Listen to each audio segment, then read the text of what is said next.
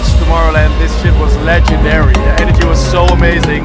Like I did like six sit downs. The crowd was fucking sick. I never had like an experience like this before.